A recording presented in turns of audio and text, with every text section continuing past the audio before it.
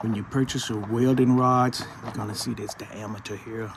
Like this is 1 8 and uh, 3 32nd, 1 8 and 3 32nds. That's your diameter of the rod.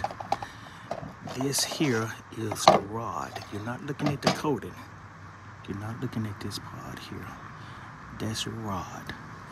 And if you measure that, you see that that is right at one eighth of an inch on the rod. Let's get that 3 32nds rod out. 3 32nd. And if you measure that, see right there, that's at 3 32nd. 3 32nd. So they'll show measurements on rods when you're purchasing welding rods.